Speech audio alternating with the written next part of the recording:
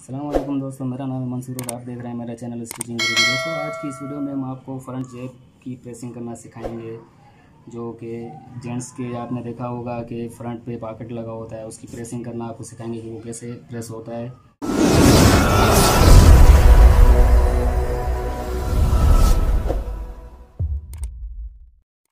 और उसके लिए सबसे पहले आपको क्या करना है, एक पैटर्न बना लेना है, जितनी साइज़ का आपको पॉकेट चाहिए। उतना आपको सबसे पहले पैटर्न बनाना है। जब तक आप ये पैटर्न नहीं बनाएँगे, आप उसकी ये जो गोलाई है, आप इसकी गोलाई नहीं बना पाएँगे जो पॉकेट है। तो सबसे पहले आप ये पैटर्न बना लीजिए। कोई भी एक्सरे उठा के आप उस पर अच्छी तरीके से गोलाई करके उसको बना सकते हैं। अब आपको क्या करना है? कि ये जो कपड़ा है, ये देखिए, ये कपड़े का जो बार्डर है, इस बार्डर की तरफ़ ये जो फ्रंट जेब है, ये इस बार्डर की तरफ़ आपको प्रेस नहीं करना है, क्योंकि ये सीधा कपड़ा है और फ्रंट जेब होता है, वो आड़े कपड़े पर होता है। ठीक है तो आप कपड़े को आड़ी वाली जो आड़ा कपड़ा है, ये देखिए, ये आड़ा कपड़ा है, यहाँ से ये ये आड़ा कपड़ा इसलिए इस्तेमाल होता है क्योंकि जब हम इसकी गोलाई लेंगे, ये देखिए, ये जो इसकी गोलाई आएगी, ये तो इसको हमें फोल्ड करना है अंदर की तरफ़ तो ये जब तक आड़ा कपड़ा नहीं लेंगे, तब तक आपकी ये बिल्कुल फोल्डिंग नहीं आएगा तो दोस्तों, सबसे पहले आपको क्या करना है कि इसको अच्छी तरीके से, क्योंकि देखिए, ये वाशिंग का कपड़ा देखिए, ये इस्त्री पे पड़ने लगता है, इसलिए सबसे पहले आप इसको स्त्री अच्छी तरीके से लगा दीजिए। उसके बाद आपको क्या करना है कि तकरीबन साढ़े सात इंच की पट्टी है मेरे पास, लेकिन आप अपने हिसाब से जितना आपको पॉकेट चाहिए, आप अपनी पट्टी काट सकते हैं। फिर आपको क्या कर लेना है कि ये जो आधा इंच कपड़ा ऊपर छोड़ दीजिए, उसके बाद आप इसको अच्छी तरीके से प्रेस कर दीजिए।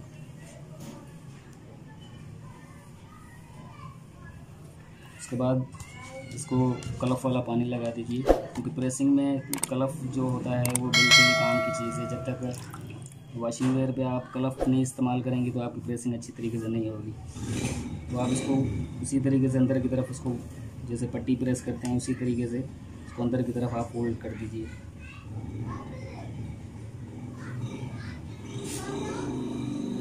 उसके बाद उसी तरीके से आप यहाँ से इसको कलफ लगा दीजिए इसको अंदर की तरफ़।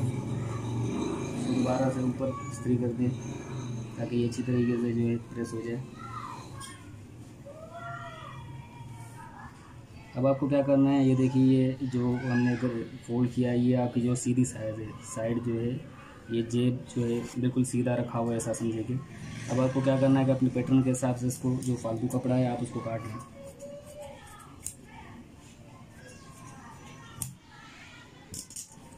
उसके बाद क्या करना है आपको? जो कपड़ा है, उसको आपने बिल्कुल उल्टा करके रखना है, ताकि जो पॉकेट जो है वो अंदर की तरफ़ मतलब कि उल्टी साइड पर फोल्ड होगा। उसके बाद आपको क्या करना है कि ये जो पैटर्न आपने बनाया है, वो पैटर्न आप इसके ऊपर रख दीजिए, बिल्कुल।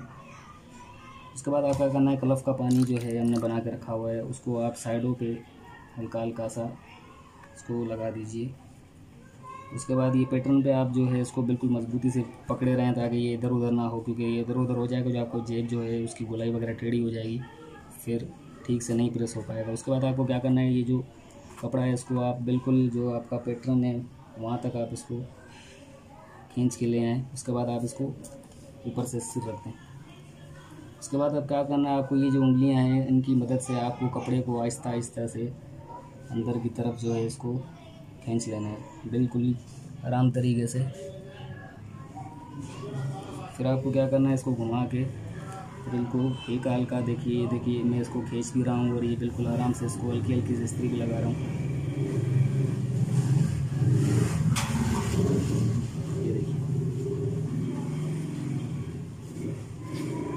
हल्का हल्का सा खींचते आएँगे तो ये बिल्कुल ही आराम से प्रेस होता जाएगा इसमें। थोड़ा डिफ़िकल्ट है। ये देखिए, ये इस तरीके से बिल्कुल आराम से हल्का हल्का आप इसको कपड़े को भी खींच लेना है अंदर अंदर ही अंदर, क्योंकि अंदर हमने पैटर्न रखा हुआ है। तो ये पैटर्न से ना इधर कपड़ा जाएगा, ना उधर जाएगा, बिल्कुल जैसा पैटर्न कटा हुआ है, वैसे ही आपको बिल्कुल कटिंग आएगी। फ्रंट जेब की। और आपको इतना याद रख लेना है कि जो आप पैटर्न काट रहे हैं, सबसे पहले आपको उसको अच्छी तरीके से चेक करना है कि फ्रंट आपका बिल्कुल परफेक्ट है या नहीं। उसके बाद आपको क्या करना है, इसको आधा इंच तक कपड़ा इसको बिल्कुल काट दीजिए। जो फालतू कपड़ा है ऊपर वाला, इसको बिल्कुल पूरे तरीके से, इसी तरीके से देखिए, गोलाई से आप इसको काटते जाएँ एंड तक। उसके बाद आपको क्या करना है पैटर्न लगा हो अंदर ही, उसके बाद आपको उसको सीधा करके ऊपर की तरफ़ से इस तरीके घुमा लें, ताकि ये और भी अच्छी तरीके से प्रेस हो जाए। उसके बाद आपने क्या करना है, इसको पैटर्न को निकाल दें बाहर। इसको साइड पर रख देते हैं। और ये हमारा जो पॉकेट देख रहे हैं आप, ये बिल्कुल तैयार हो गया इसके जो हमने फोल्डिंग की थी, वो आपको अंदर की तरफ़ से इसको मोड़ कर इसको आप सीधा रख कर फिर आपको क्या करना है कि इसको हल्की हल्की जो है स्त्री ऊपर से लगा देनी है। बिल्कुल, ये देखिए, ये और भी आसान तरीके से और सफ़ाई से बैठ जाएगा। ये देखिए ये हमारा पॉकेट जो है फ्रंट वाला बिल्कुल तैयार है लगाने के लिए। अभी आप इसको अच्छी तरीके से जो सिलाई लगेगी वो उसको बिल्कुल आप आराम आराम से लगाना पड़ता है जेब क्योंकि ये जेब अगर थोड़ा टेढ़ा लग गया तो ये बहुत बुरा लगता है फ्रंट पे। सो so, दोस्तों उम्मीद करता हूँ कि आपको मेरी ये वीडियो अच्छी लगी होगी। तो दोस्तों जाने से पहले मेरे चैनल को सब्सक्राइब कर दीजिए और साथ में बेल आइकन होगा। आप उस बेल आइकन पर भी प्रेस कर दीजिए ताकि मेरी जो नेक्स्ट आने वाली वीडियो होगी, उसका नोटिफिकेशन आपको मिल सके। सो दोस्तों, अब तक के लिए इतना ही। उम्मीद मिलते हैं अगली वीडियो में। अल्लाह हाफिज़।